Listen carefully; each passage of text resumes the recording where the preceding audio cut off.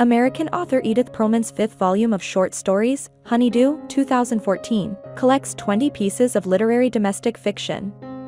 According to the New York Times, the stories in Honeydew excel at capturing the complex and surprising turns in seemingly ordinary lives.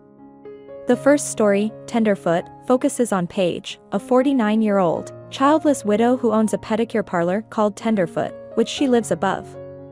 Bobby, a newly arrived neighbor who teaches art history at the local college, takes an interest in Paige and her varied clientele.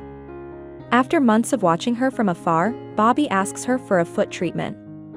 During the pedicure, he has an erection which he hides under a book.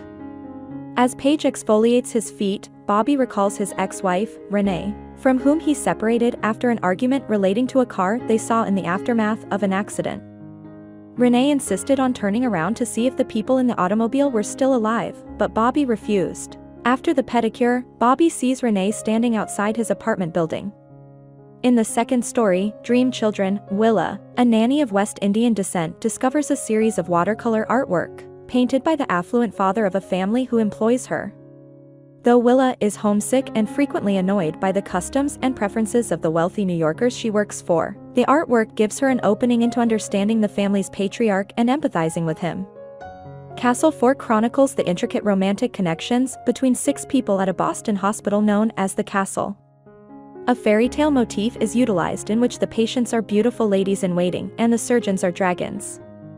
At the end of the story, a shy anesthesiologist marries a terminally ill cancer patient on her deathbed in a strange wedding ritual. Stone is about Ingrid, a twice-widowed 72-year-old who makes an impulsive decision to leave New York for the southern United States, to work as a bookkeeper for Chris, a carpenter and her first husband's nephew. Even though Chris is 30 years younger than Ingrid, a sexual attraction develops between them. When it is time for Ingrid to return to New York, Chris begs her to stay. Not wanting Chris to see her grow old and withered, Ingrid resigns herself to returning to New York alone.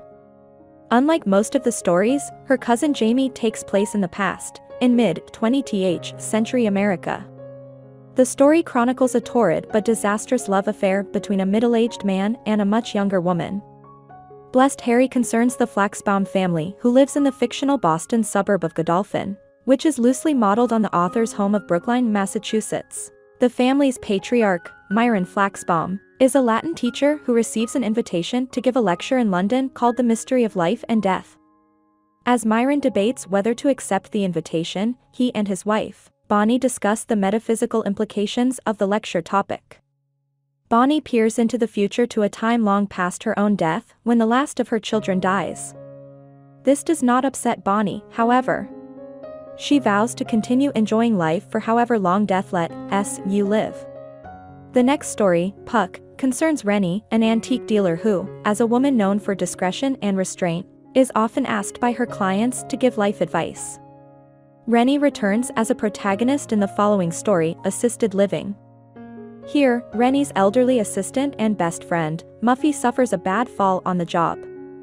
As Rennie watches over Muffy in her hospital bed, she finds herself strangely envious of the older woman. What the axe forgets the tree remembers, follows Gabrielle, a wealthy and self-absorbed 50-year-old woman who decides on a whim to volunteer for the local chapter of the Society against female mutilation.